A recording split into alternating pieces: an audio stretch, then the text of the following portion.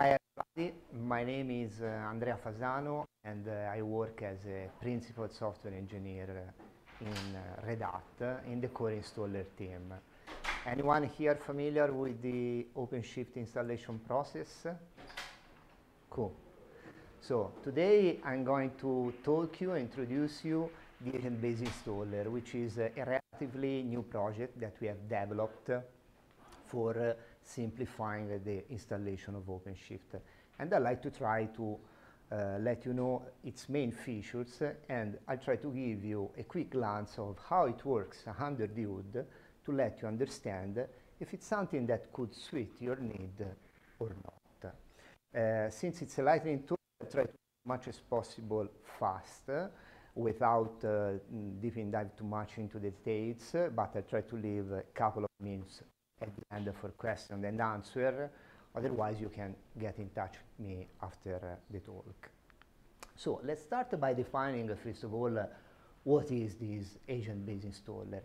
Essentially, it's uh, our tentative to merge together the experience coming from the assisted installer technology with the ability to run into disconnected environments.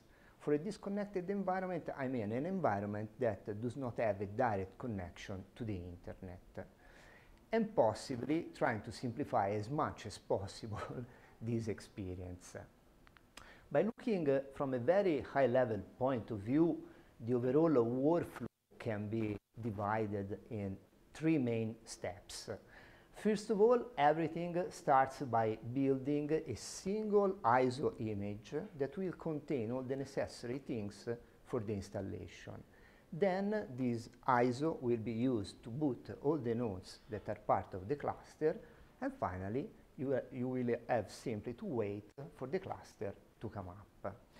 We'll now uh, deep dive a little each of these three steps to understand how they works. But before that, I would like to quickly recap what are anyhow the main characteristics of this approach. First of all, as I said, the ability to run offline. Of course, it can be used also for connected environment. The other important thing is that uh, it doesn't require a provisioning host. So one of the nodes will be selected as a bootstrap node. So this means that you don't need an additional machine for the installation. Probably one of the most relevant part is uh, the ability to run a high number of pre-flight validations thanks to the assisted installer technology. And this will help you to understand if the upcoming installation is going to succeed or not. And last, it's fully automated, so it means that uh, once the ISO is ready, you don't have to do anything special. And it was, it was designed to be easily integrated within a third-party orchestrator. Uh, another important thing is the ability to configure, uh, to provide a static network configuration via NMState. Yesterday there was a nice talk by Manser about NMState.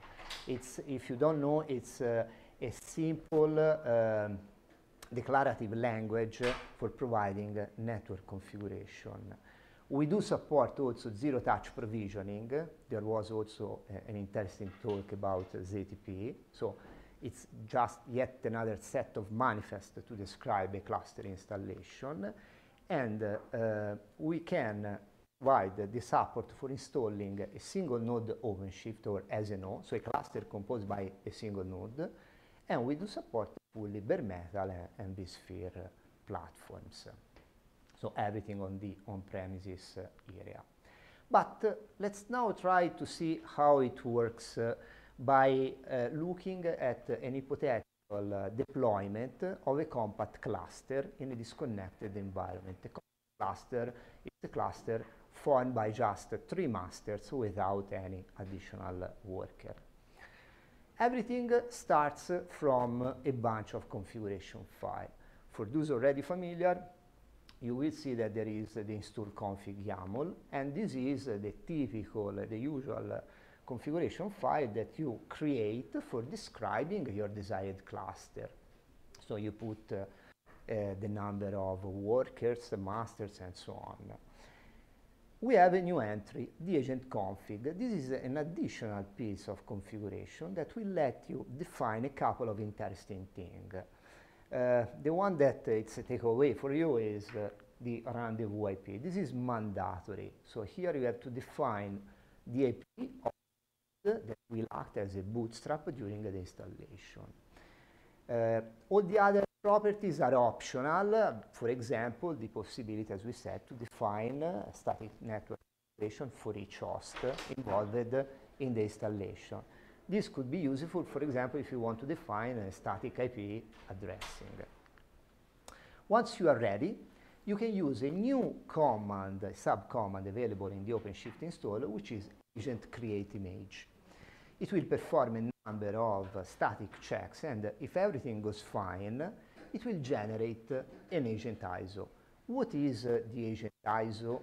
Uh, it's nothing else than a live RHCOS image with a customized ignition file prepared by us containing all the ingredients for making up the automatic installation subsequently.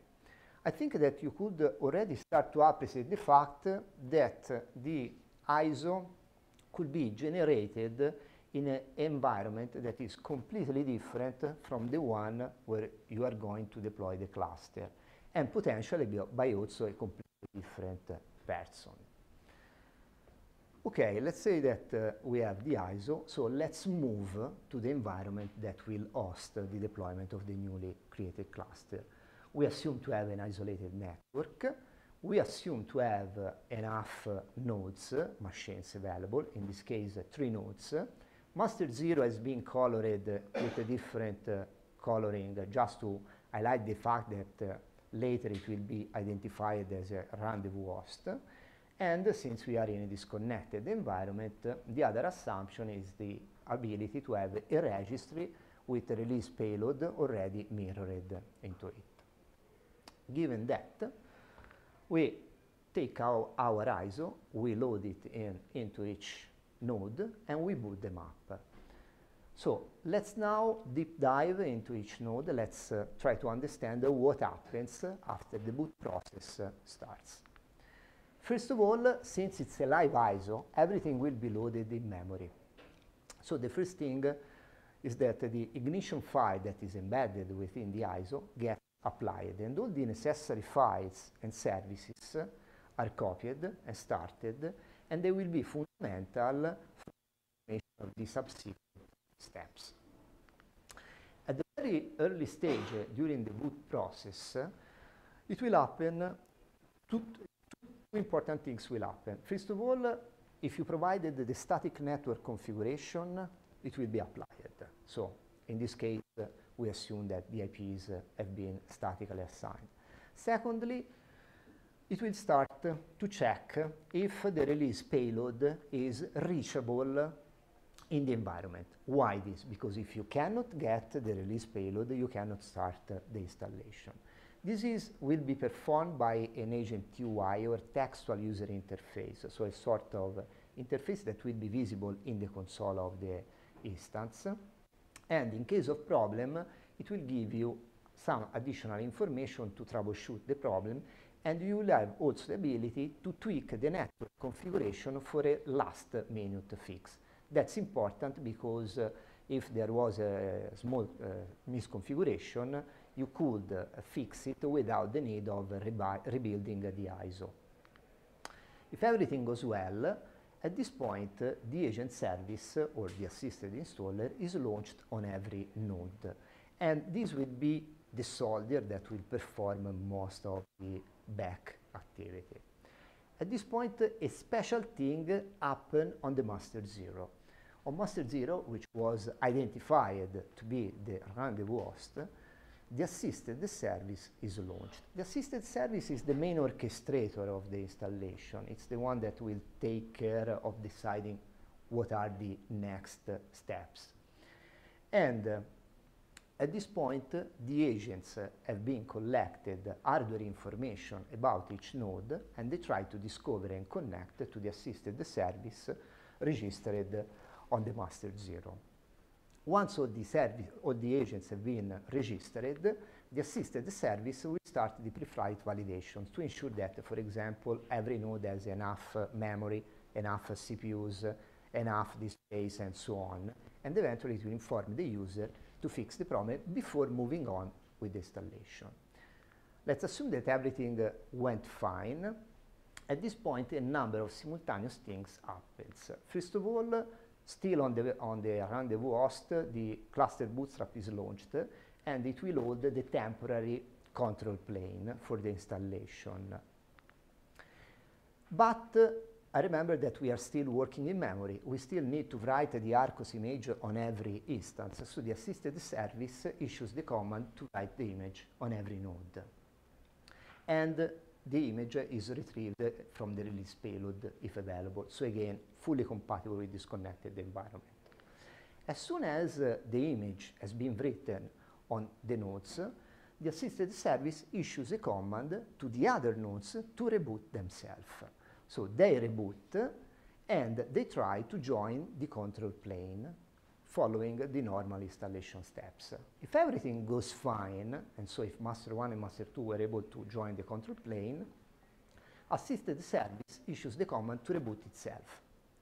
And again, if everything goes fine, master 0 will join the control plane, will throw away everything that was in memory and will become just yet another node as the other.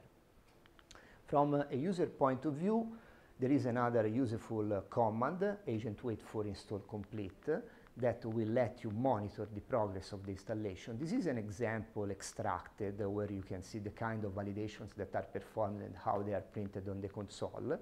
And if everything goes well, it will inform you that the installation is completed and it will give you the coordinates to uh, attach to the cluster. So this brings to the end of my presentation. Uh, what's next? Uh, we are still working uh, on supporting OKD. There is an excellent community also here that is working on this part. and I hope we'll have it available very soon. We are also working on uh, PXE support so that uh, you will not be limited just to the ISO, but also to, to use PXE for booting uh, the instances. And I will, uh, would like to acknowledge the original team that more than one years ago started to work on uh, uh, this new project. Thank you.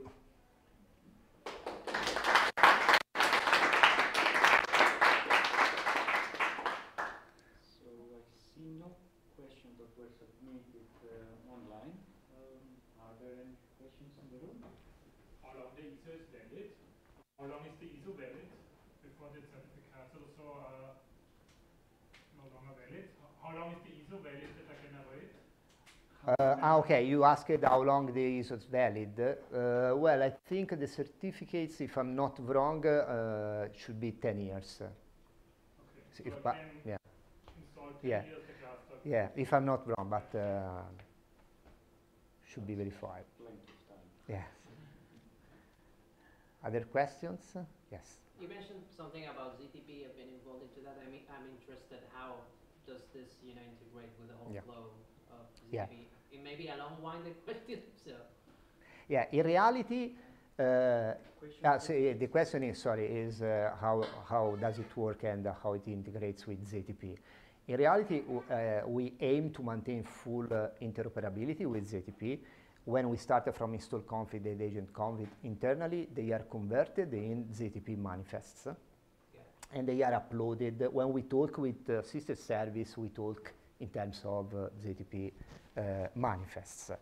The idea is that if you already deployed uh, a cluster also with ZTP, ideally you could take your ZTP manifest uh, and apply them with agent-based installer uh, with uh, almost zero uh, prob- mm, problem, mm, uh, refactoring, let's say. Um, how does it know where the image registry is for the payload? Is that something you configure in the YAML? Y- Yes, it's, it's configured in the install config. For disconnected environment, uh, there is a section, the ICSP section, where you can configure how to eventually reach a mirrored environment. the, the idea is that in the registry, the, it's there a complete release so that you don't have to touch or to reach completely outside the, the internet for the installation. So can you use the default registry as if you're not Yes, disconnected? yes, of course. It depends on if you put it or not in the install config. And if you can repeat the Ah, yeah, the question is how, how, how do we know the- how to reach the, sorry, the registry? Okay. And I think that brings us also to the end of our time. I don't know if there is any other last minute question to ask. Okay, thank you very much then. Thank you.